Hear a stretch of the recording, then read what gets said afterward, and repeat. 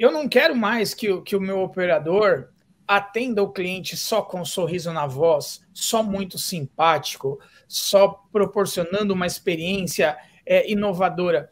Eu preciso entender o que, que tipo de experiência esse cliente já teve comigo antes de eu dizer um alô para ele.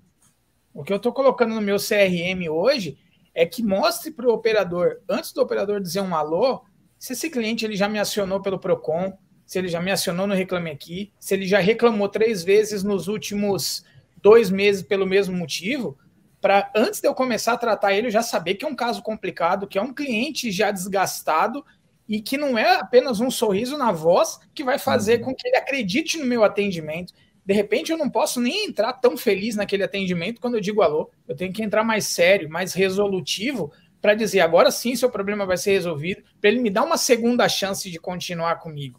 Hoje se fala muito em encantamento, mas eu acho que antes de você encantar, você tem que saber se ele quer ser encantado ou não. não, não. Eu não posso transbordar felicidade para o meu cliente quando eu digo alô, seja bem-vindo ao atendimento da Editora Abril, para um cara que de repente eu falhei com ele duas ou três vezes. Ele vai ficar mais furioso ainda com toda essa alegria que eu tenho, né? Então, isso é, é esse se aprofundar. que você está sendo irônico, né? Sim, sim, isso é muito. Bem-vindo muito... à nossa ilha de retenção. Como posso ajudá-lo, né?